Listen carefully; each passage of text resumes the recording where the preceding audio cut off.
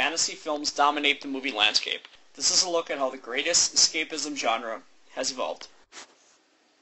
The first fantasy film that captured the imagination was a 1902 film A Voyage to the Moon by French magician turned filmmaker Georges Méliès. Méliès uses magician tricks, now aided with a camera, to appear to make people and objects disappear from the frame. Méliès also introduced dissolves and edits to early film, well before anyone had ever added these elements in film. The real triumph of A Voyage to the Moon was harnessing the dreams that many people had of visiting distant satellites and planets and making their dreams come true on screen.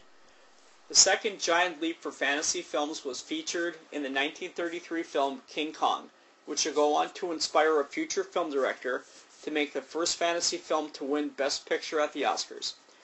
King Kong was the first film to feature stop-motion animation. King Kong revolutionized technology that we still use in this day. The creation of miniatures for the creature King Kong was designed in pre-production. A bust of Kong's head, neck, and upper chest was made of wood, cloth, rubber, and bearskin. The Wizard of Oz took the fantasy genre to new heights and created millions of fantasy fans ever since. The Wizard of Oz expanded the Voyage to the Moon with the addition of sound and technicolor. It was the first film to feature black and white with a transition into color in the second act. This was achieved by running three strips of red, green, and blue colors through the camera at the same time. It was the first fantasy film nominated for Best Picture, but the fantasy genre would have to wait over six decades before the genre would win Best Picture. However, the song Over the Rainbow won Best Song and Original Score for composers Herbert Stothart and Harold Arlen. The Wizard of Oz raised the bar on what was possible for the marriage of story and technology. Live action and practical animation have always been staples in the fantasy genre. Combining of the two has created what today is known as motion capture. In 1988, this achievement was known simply as Who Framed Roger Rabbit. This film marked the first time that cartoon characters and live actors engaged as equals on the screen, where live actors could physically interact with animations. During production, mimes, puppeteers, mannequins, and robotic arms were used to help the actors to interact with the cartoons. With every new piece of technology that made fantasy films what they are today, no film or film series has pushed the envelope of what is possible in fantasy films more than the Lord of the Rings trilogy.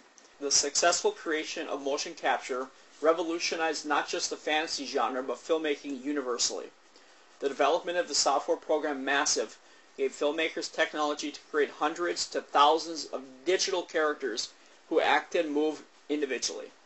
This technology was shown in the Ride of the Rohirrim, where thousands of digital characters representing the kingdom of Rohan raced on horses towards the siege of the kingdom of Gondor.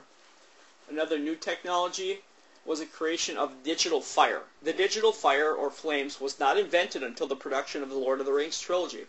Maybe the greatest technology to come out of the trilogy has been motion capture. An actor wears a tracksuit with small tracking marks that look like tennis balls all over his suit. When he moves, the computer tracks the movement and creates a fully digital character, such as Gollum. The actor's performance is still in the film, but he is completely removed and a new character is shown in the film. In 2004, The Lord of the Rings The Return of the King made history, becoming the first fantasy film to win the Best Picture Oscar cementing the legacy of Méliès and all the people who made fantasy films what they are today.